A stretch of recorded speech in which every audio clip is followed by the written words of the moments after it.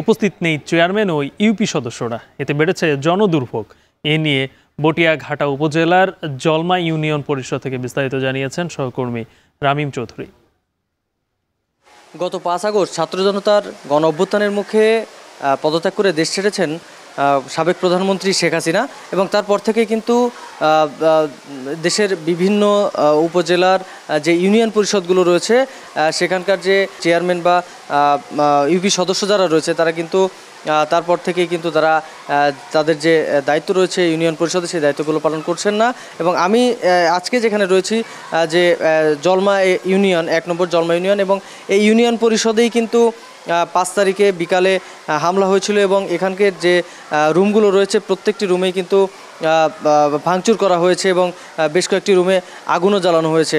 এবং এখানকার যে সাধারণ মানুষের যে সেবা পাই সেই সেবা কিন্তু গত পাঁচ তারিখ থেকে একেবারেই বন্ধ রয়েছে বললেই চলে এবং প্রত্যেকটি রুমে কিন্তু তালা মারা রয়েছে। এখানে সাধারণ মানুষ আসছেন এবং তারা এসে কিন্তু ফিরে যাচ্ছেন।